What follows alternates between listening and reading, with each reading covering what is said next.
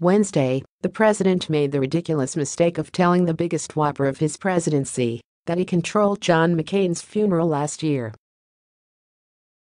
According to the president's speech to Ohio workers yesterday, I gave him the kind of funeral that he wanted, which as president I had to approve. I don't care about this. I didn't get a thank you. That's okay. The Washington National Cathedral, which hosted the ceremony for the McCain family, responded to Trump's claims with a dose of reality.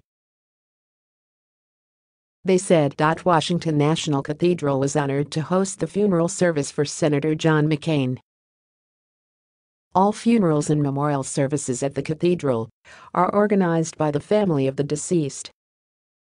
Now, Trump's Bane, CNN's Jim Acosta is taking Trump to task for making the ludicrous claims to begin with. People responding to Acosta on Twitter were in agreement that the president really put his foot in his mouth this time.